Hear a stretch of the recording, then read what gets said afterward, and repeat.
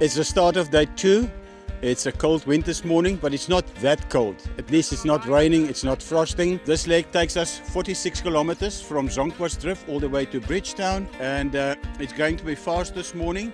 Uh, yesterday was more like an experience, a nice experience. Today it's going to be more tongue in the cheek, a little bit about navigation, a little bit about survival. Because bear in mind, seven kilometers from here, you have a massive tree block that's waiting for you where you have to portage. Then 8 kilometers past Gouda Bridge, you start going into all those gangetjies, complicated, very technical section, but uh, we wish them all of the best and we're waiting for them at Bridgetown.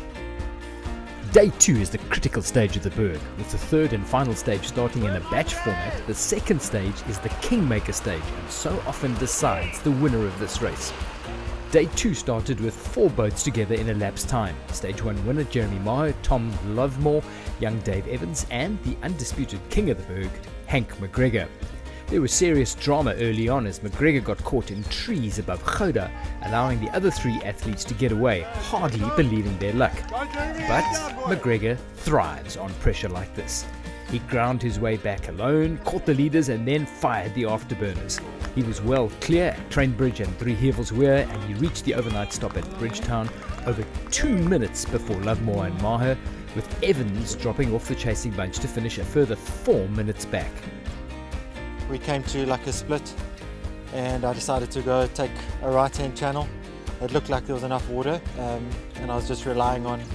The last time I went down there was about 10 years ago and uh, it was a 50-50 and I was like one of my 50s has to turn out alright.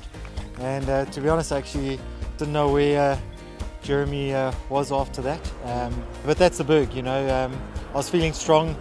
Um, you know I, was, I, would have been happy just with a stage win if it was an end sprint but to to have a couple of minutes in the bag um, going into the next two days it's always it's always great you know and uh, but the race is far from over and the young guns are keen to uh, put their hand up for, for the win. So it's going to be exciting the next two days. I'm looking forward to it. Yeah, I think no day is easy on the Berg.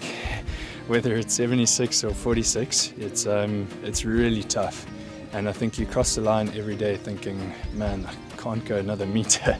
so I think um, to get through without any problems, you can't really ask for much more.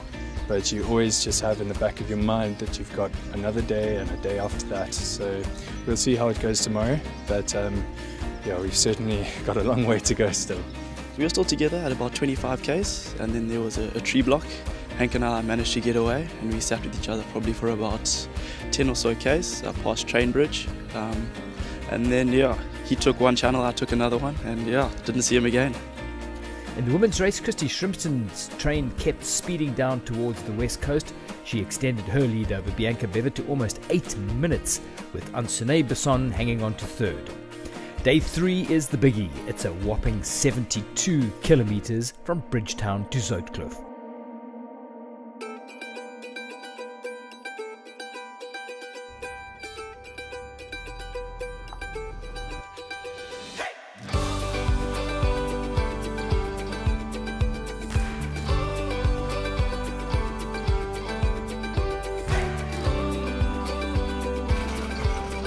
Paparazzi! Hey, we're ready! Yes, yeah. the Bikidako.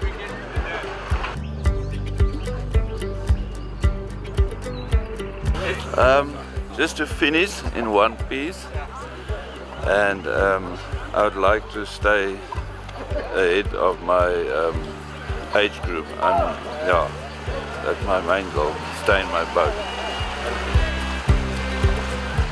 It's a physical challenge, it's also a mental challenge. Your first achievement is to make it to the start line. So prior to that, you have to start working on endurance training over and over and over again. So you have to get that mindset to tell yourself, well, I'm not going to the office now to sit for eight hours behind the computer. Today I'm going to sit eight hours with the ergometer or then more than that on the river itself. So you'll have to do a lot of training, training, training, repetition, repetition, repetition. But eventually you have to break down that mental block where you can say, well, I can do it, I'm going to do it. Yes, I'm on my way. I'm feeling good, a little bit stiff, but yeah, I think the tree blocks will be interesting today. Um, but yeah, glad it's shorter than shorter than yesterday. Um, yeah, excited for the day. Oh, I'm nervous this morning. Yesterday was a, a long day, so it helps to be fit and trained for these things, which I didn't do. No, I just hope, hope to finish in time because I, I'm battling with the 70 plus people. So it's my 40th uh, if I finish this year. So uh, then I, I, I think I must call it a day. Twak. Daar staan bestaan nie so ding se laaste jaar nie. Solank jy gesond is, ja. geen rede om te wen nie. Ja, sê. Miskien, miskien Jan. Net gezond, net gezond. Oh. Ons is geseën om gezond te wees om dit nog te kan doen. Yeah, things are a bit sore. You, you got some reminders of like what, what it feels like to sit in your boat for, for, for too long. But today is just about trying not to get too lost. I think the guy, the person who gets lost the least will, will do the best. But that's fun. It's part of why we do the berg is for the adventure. Yeah, if it was predictable, it would be more boring. But anyway, we're going to have a good down the river today. Weather's good and there's a decent water level, so that's all good.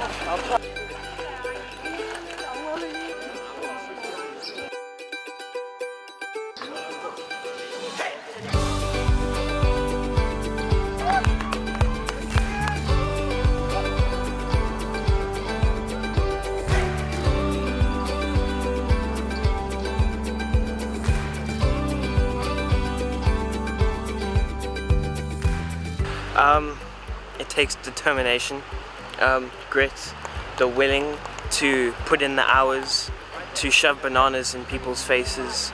Um, it takes a lot of skill as well, and good driving.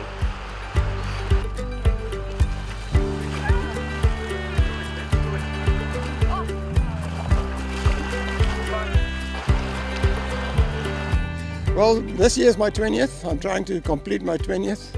It's, it's just the challenge. You can't explain to anybody, but when you finish a, a stage or a berg like, um, you know, it's, it's something you can't explain. It's just such a, a big challenge and you actually learn a lot about yourself to never give up.